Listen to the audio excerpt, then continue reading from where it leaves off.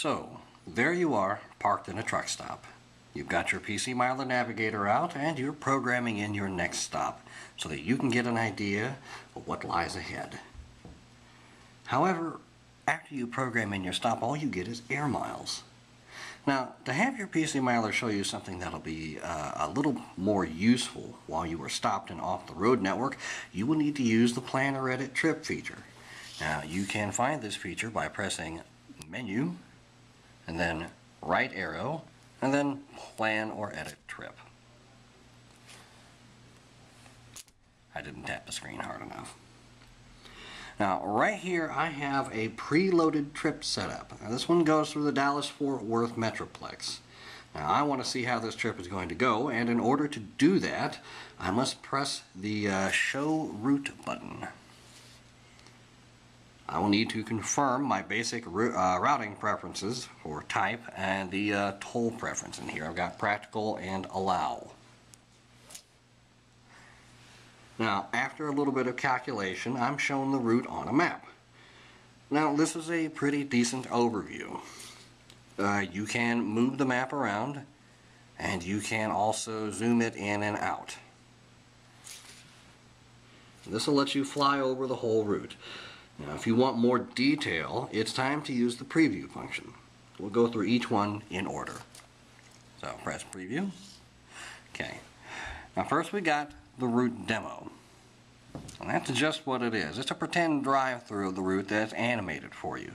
It's very handy when you want to get a sense of the timing between close turns, for example.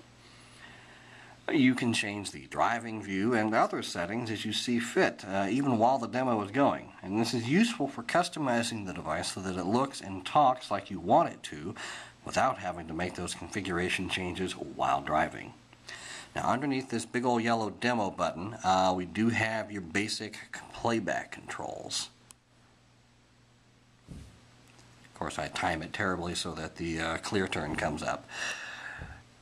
Playback controls. Rewind uh, to the beginning, rewind, play, pause, fast forward, and get me out of here, which takes you out of the demo completely. Now, uh, we're going to go ahead and look at the turn maps next. Now, the main use here is for checking out those tricky interchanges way ahead of time. Like this one for the Central Expressway. Now here you can see where we've advanced to a future turn and we see how we got to merge with the traffic. It looks a little bit messy with all those no hazmat signs and hash marks. But that's why you can zoom the map around and um, pan it as you see fit. Here we're going to go ahead and zoom in. Come on, there we go. And you'll see that even though my turn direction says I just have to go straight, there's still one merge and two merges before I'm actually part of the main flow of traffic again. That'll be a little bit tricky. Now, to get out of the turn map, you just press the X in the upper right corner. Finally, we've got the turn list. This one's really simple, so let's go ahead and bring it up.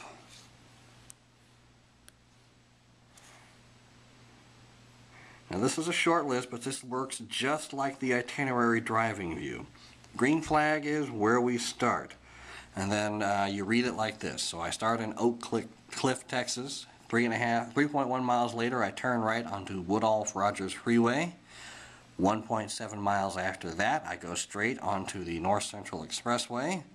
And then 2.3 miles after that, I end up at my destination in Highland Park. Again, to get out of the turn list, you just press X. Now after you're done previewing, you can press the Go button to just start navigating if everything is exactly the way you want it. Or if it turns out that you need to edit uh, the way the trip is laid out, you can use the Edit button to slide things around or uh, even load another trip entirely. This has been a short video explaining the uh, preview functions in um, Plan or Edit Trip for a PC Miler Navigator. Hope you found it helpful.